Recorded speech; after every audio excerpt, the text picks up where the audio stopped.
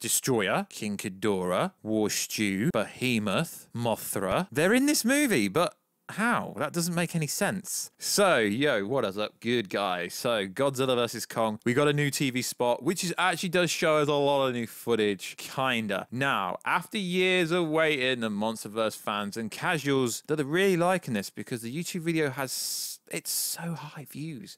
So we're finally going to get to see this next month. Yes, I know it's been out a few days now, but for some reason it dropped the same day as the Zack Snyder Justice League trailer, which makes no sense why Warner Bros. would do that. So, yo, what is good, YouTube? Warstu here with a video breaking down the latest and greatest new information and stuff like that from the MonsterVerse. So if you are new around here, make sure to subscribe to never miss any of the videos. Check us out on Instagram at Warstu if you want to know what the voice behind the face looks like. Also check us out on Instagram at Warstu. Yeah, I just said that, so go check me out. Also Twitter WarstuG. Yeah, Twitter WarstuG. Check me out. Follow me over there. So we got a new TV spot that was released on the same day as the Justice League Snyder Cut, which makes no sense because they're both under the Warner Bros. branch because they're both being released on HBO Max. It's almost like Warner Bros. are trying to sabotage the Justice League Snyder Cut. And yes, I said that. I said it because it's probably true. So let's get into this. So there's enough new footage in the new TV spot to make it worthy of my time and worthy of me to talk about. Yeah, I've had a lot of people ask me on Instagram why I haven't spoke about it. It's because obviously I was doing the Justice League stuff. So let's get into it. So yet again, this trailer doesn't display Mecha Godzilla like everyone seems to think. But War it's not Godzilla. But War the atomic breath is Mecha Godzilla. But look at his eyes. It does not look like a mechanical being. And guys, you got to understand when they market movies, they have to stick to advertising and marketing standards. They cannot falsely advertise a movie for the whole marketing campaign Mm. and be like, yeah, guys, got ya. It, it was really Mecha Godzilla this time. No, because someone would sue him for false advertising. Yes, I understand. With Avengers Endgame, it was misleading, but not really. It's not like they were saying Thanos was the big bad, and really it was someone like Galactus or the Living Tribunal or Warstu or Nightmare, Mephisto. No, they didn't do that. So, guys, chill. It is 100% Godzilla. And if it isn't Godzilla, I would do a freaking awesome giveaway after the movie comes out. You'd be like, yo, Warstu, you're wrong. It was actually Mecha Godzilla all this time. And I'll be like, well, let's go after Warner Bros. Legendary because they lied to us in the trailer. So it blows my mind the way people still think this. So TV spot opens up with a little girl who has some kind of connection to Kong. Alexander Skarsgård character says, we need Kong. The world needs Kong. She's the only one here communicate with. Whilst this is playing, we see some footage from the main trailer.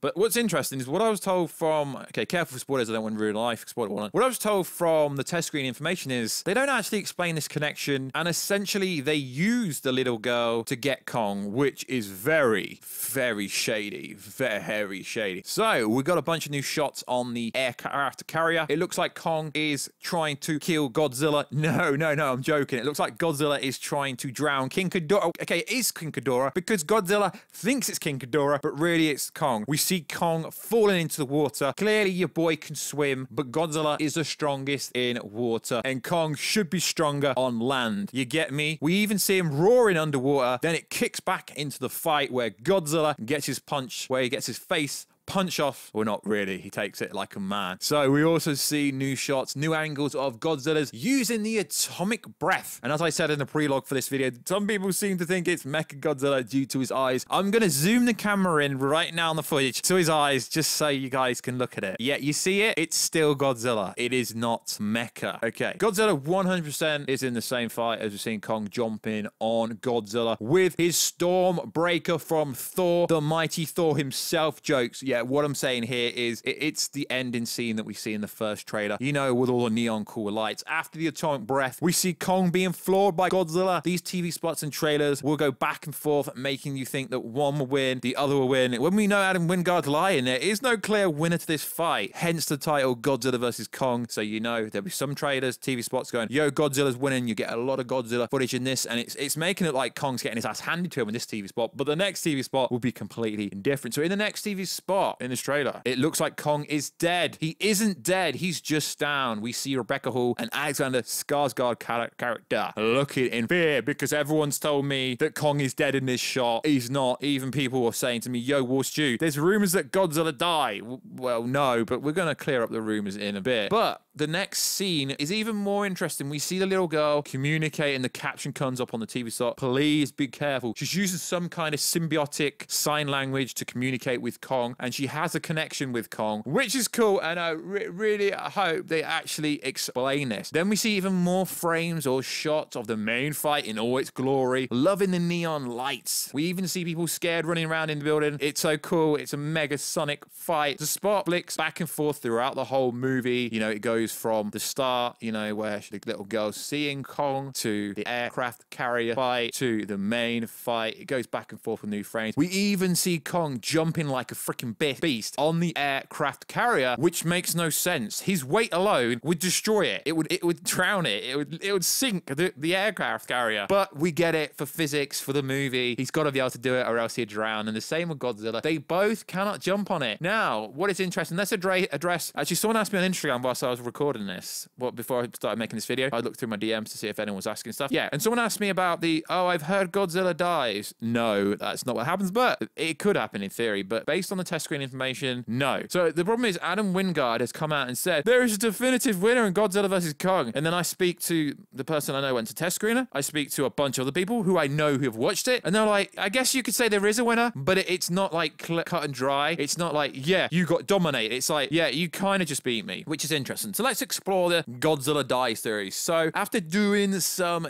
digging, apparently there is a clause with Toho that says Godzilla will not be killed in the MonsterVerse, and this is the one rule in the contract. Now I can't confirm or verify it because I don't have any Toho sources, and the people I know that give me information about the MonsterVerse, they don't really know this information. But apparently Godzilla cannot die. He cannot die apparently. But why would he die? Because if they, you know, it's a franchise. They're not going to kill Kong Godzilla off, but in theory they could kill Godzilla off. I'm not saying Godzilla gets killed off, but let's explore this version. So the current Godzilla we have was woken up by the atomic bombs in World War II. Anyone watching this should already know this. But this was the new Godzilla. Could have been sleeping even deeper down in the ocean and was left undisturbed in the events of Godzilla vs. Kong. Such as Monarch, you know, exploration in it to Hollow Earth could have awakened him from the slumber just in time for Godzilla 3, which could feature Godzilla's relatives seeking revenge for whatever befalls Godzilla in this year's MonsterVerse release. Yes, I just wrote that into the script. Yeah, that's pretty bad. So, what the theory could be, and this theory's been out there for over a year, no idea where it started, is that they could introduce a baby Godzilla into this movie. They could do that, I guess, because then the clause, if this clause is true, like I said, guys, I've got no idea if the clause in this contract is even real. I just thought I'd do a bit of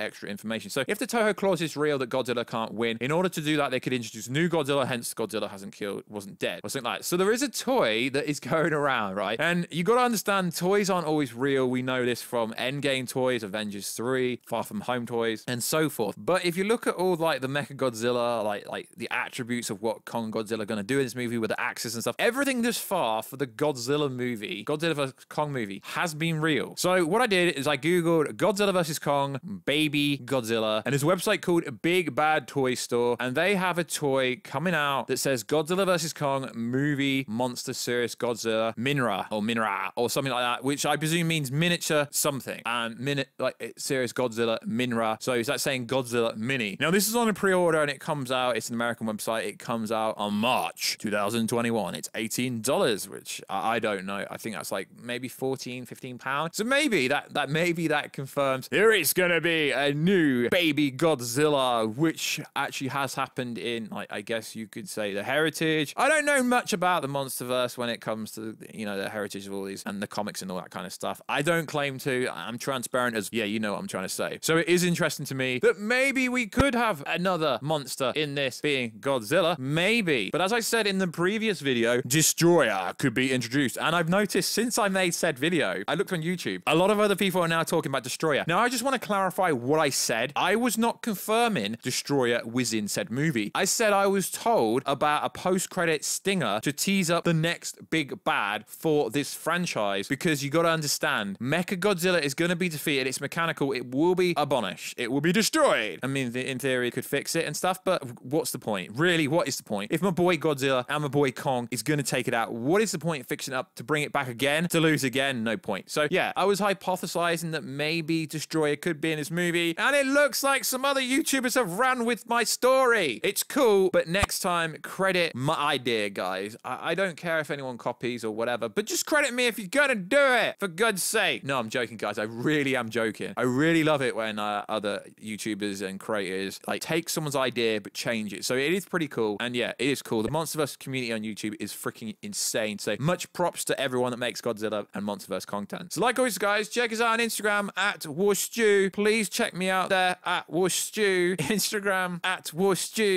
Twitter, WarstuG. No, seriously, I've, I've just hit 2,000 followers on Twitter, which is cool, but we've got over 100,000 subscribers on YouTube. So I would like to try and grow the Twitter a bit more. So WarstuG on Twitter, if you could find me over there. My opinions on there are my own, and I'm transparent as air on there. And yeah, yeah, it's cool. Check out the Twitter sphere, guys. Check us out on the Facebook page, Warstu. And I will catch you in another video very soon. Catch you later.